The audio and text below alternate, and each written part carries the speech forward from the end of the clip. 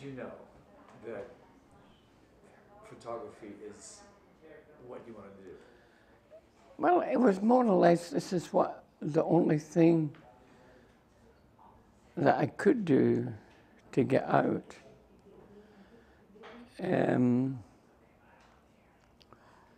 photography, I always I wanted to be a press photographer, but photography was press photography. If you start to take good pictures, you become heavyweight champion of the world.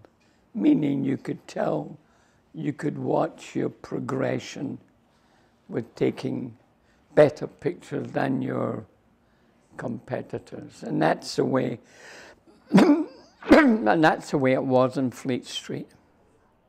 Now, besides competition, a sense of competition, what what did Fleet Street instill in, in, in your, your generation of photographers? How, how were they trained differently than the ones coming up today?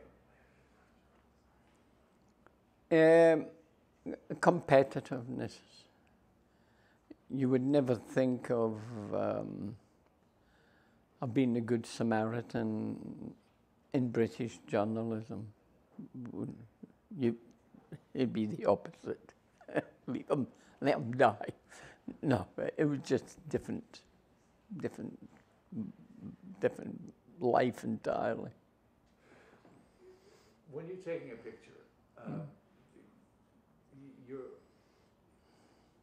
do you, do you look for the moment or you just shoot, shoot, shoot? Well, no, no, because I grew up with press photography, and if you had twelve plates with you, that's a hell of a lot.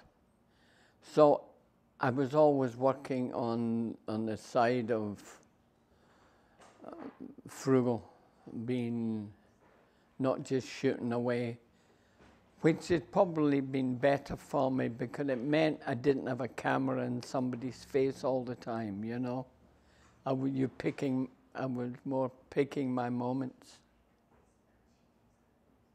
Would Would you say it's uh, it, it, it seems to me that we very intuitive thing that you know the moment is right to take it. Sometimes yes, sometimes no. Sometimes you may not catch the moment until about 10 years later. Oh, that was a, not a bad picture. I missed, I didn't. You know, it's, it's strange that. That you may not get uh, pictures also. Photographs can take on a whole new meaning years later. Now, um, looking at this film, you've, you've, you've captured a tremendous amount of history in your career. Uh, what was it? Was it your assignments? Was it was it your work with Life magazine that got you into so many? Yes, yeah. So it it it, done, it doesn't do you any harm if you if you got a good magazine in your back pocket. You know, it doesn't but you've got to try and get there that the magazine wants you. Does that make sense? Make, make sense to you? Makes sense to me. so you worked for uh, life, most of your life, right? Most of your no, no. Most of my life was what with newspaper. And oh, wait a minute, yes, it probably was. It, yeah, with life, it would probably be about 40 years. That's a long time. You and People magazine, I had over a 100 covers for People. The, the crap, you know, but 100 covers.